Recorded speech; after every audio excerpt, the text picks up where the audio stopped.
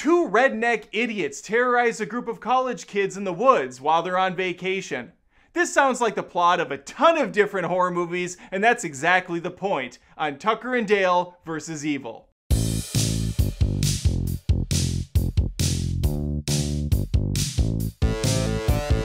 The reason I'm talking about this little chestnut today is Henry Wrangle over on patreon.com slash adamdoesmovies requested it. And since he's a Mithril member over there, he gets to request movies and I have to say yes. Or I throw a fit and he changes it, but I usually don't. I'm like, okay, well, let's talk about this one. He chose well. Tucker and Dale versus Evil is a nice little flick. I saw it back in 2010. Obviously, I don't remember anything past last week, so I rewatched it with my wife. We both had a good time. She liked it even more than I did, and I was pretty fond of it. The movie is a beautiful, glorious hour and a half long, hour 29 to be exact, according to IMDb. This movie's rated R for some swearing and a good amount of gore. Unfortunately, there's no nudity in this one, which kind of bucks the trend if you ask me, especially when it's playing off tropes. We do, however, get to see Suri in her brawn underwear for a little bit, and for a 40 year old pervert like myself, that's enough. That's fine.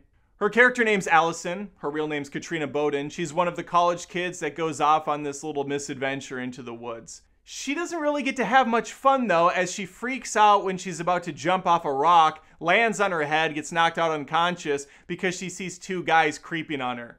And those two guys are the titular characters, Tucker and Dale. Here's the spin on the movie and what makes it so fun. Tucker and Dale are actually good guys.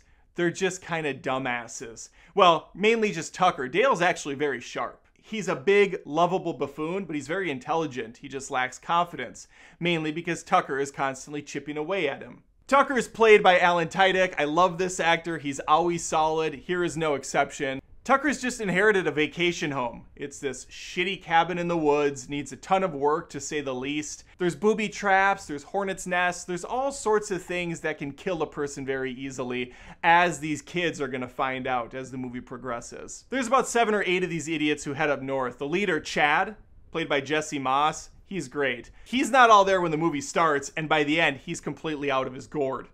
The plot is simple and to the point and executed very well. Visually, looks great. I like how the cabin is dim lit, looks grungy, dark, dank. The woods are uninviting and everything is set up to kill everyone. Tucker and Dale look like your traditional serial killers you would find up in the backwoods of Montana. They go out for some good old fashioned night fishing when they see Allison up on a rock. She freaks out, falls into the water. They pull her into the boat and try to message her friends that they're keeping her safe at their cabin. This is, of course, misunderstood, and the college kids think that Allison's about to be eaten alive. So they head out, guns blazing at the cabin to save their friend, only to get themselves killed off in spectacular fashion. One goes headfirst into a wood chipper, another gets impaled through the stomach by a long piece of branch. And things don't turn out much better for the cop when he shows up either. It's really just a series of unfortunate events that not even Lemony Snicket could have imagined. Now, on the negative end of things, I think the last 15 or so minutes starts to go downhill a bit.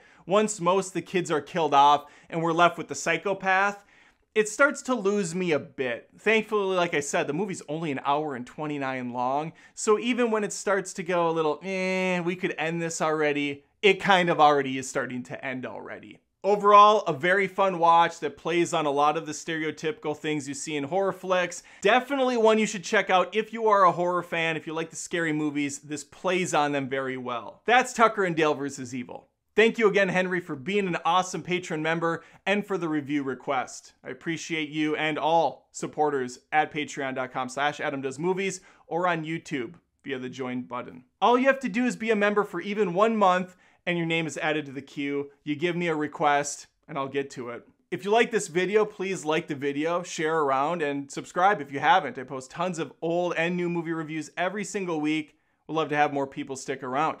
All right, take care.